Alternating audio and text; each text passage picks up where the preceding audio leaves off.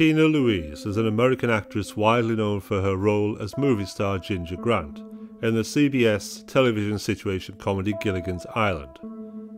With the death of Dawn Wells in 2020, Louise became the last surviving cast member of the TV series. She began her career on stage in the mid 1950s, before landing her breakthrough role in 1958 drama God's Little Acre, for which she received the Golden Globe Award for New Star of the Year. Louise had starring roles in The Trap, The Hangman, Day of the Outlaw, and For Those Who Think Young. She also appeared in The Happy Ending, The Stepford Wives, and The Wrecking Crew. Born Tina Blacker in February 11, 1934, in New York City. By the time she was four years old, her parents had divorced. As an only child, she was raised by her mother, Sylvia, a fashion model. Tina's father, Joseph Blacker, was a candy store owner in Brooklyn and later an accountant. The name Louise was reportedly added during her senior year in high school, when she mentioned to her drama teacher that she was the only girl in the class without a middle name, and he suggested it. She attended Miami University in Ohio after high school. Louise got her first role at the age of two after being in an ad for her father's candy store. She began studying acting, singing, and dancing at the age of 18 under Sanford Meisner at the Neighborhood Play School of the Theatre in Manhattan.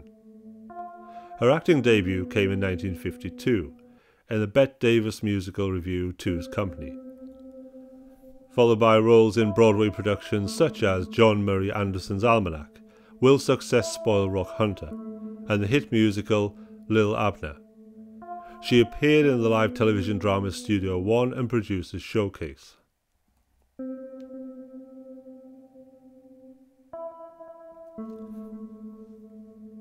She was offered modelling jobs, including the 1958 Fredericks of Hollywood catalogue, and she appeared on the cover of several pin-up magazines such as Adam Sir. Her pictorials for Playboy in 1958 and 1959 were arranged by Columbia Pictures Studio in an effort to promote her. Louise made her film debut in 1958 in God's Little Acre. That same year, the National Art Council named her the world's most beautiful redhead. The next year, she starred in Day of the Outlaw with Robert Ryan. She became a leading lady for stars such as Robert Taylor and Richard Widmark, often playing sombre roles. She turned down roles in films of Little Abner and Operation Petticoat, taking roles on Broadway and in Italian cinema instead. Among her Italian film credits were The Siege of Syracuse. Louise returned to the United States and began studying with Lee Strasberg and became a member of the Actors Studio.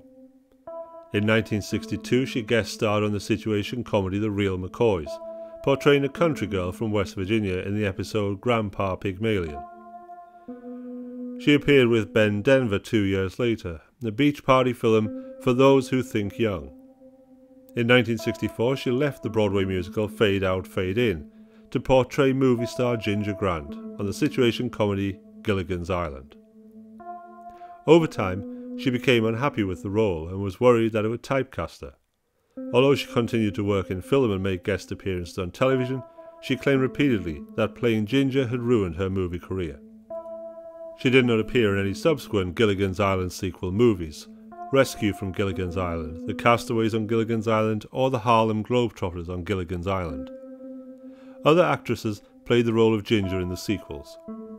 She maintained a steady acting career after the series ended, going on to appear in the Matt Helms spy spoof The Wrecking Crew with Dean Martin and the Stepford Wives. Louise attempted to shed her comedic image by playing darker roles, such as a heroin addict in the 1974 episode of Kojak, as a cruel corrections officer in the TV movie Nightmare in Badham County. Other television appearances included roles in Look What Happened to Rosemary's Baby, SST Death Flight, and the soap opera Dallas during 1978 and 79.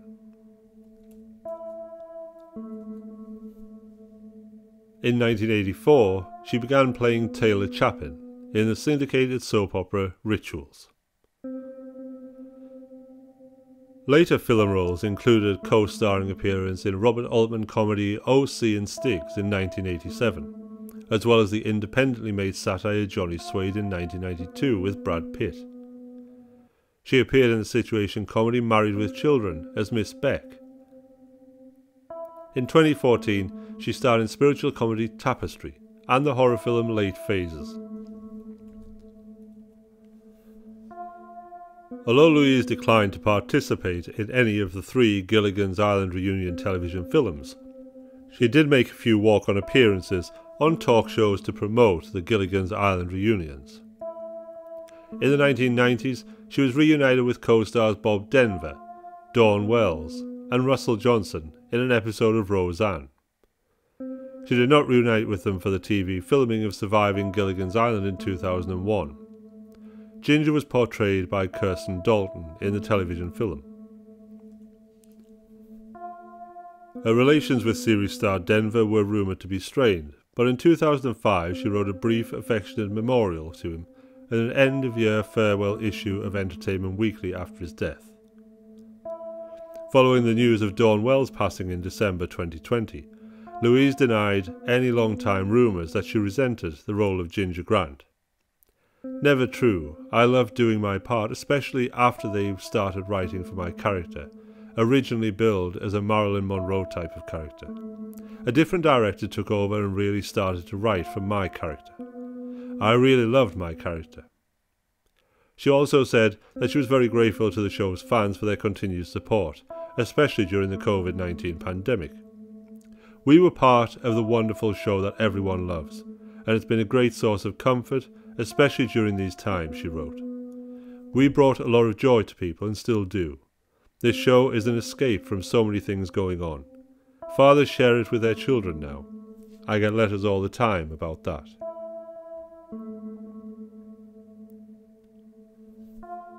From 1966 to 1971, Louise was married to radio and TV announcer Les Crane, to whom she had one daughter, Caprice, who became an MTV producer and novelist. Tina Louise and Les Crane appeared together as a married couple on the 1973 episode of Love American Style. Caprice Crane's first novel, Stupid and Contagious, was published in 2006 and was dedicated to her mother. Louise is a member of the Academy of Motion Picture Arts and Sciences and a lifetime member of the Actors Studio.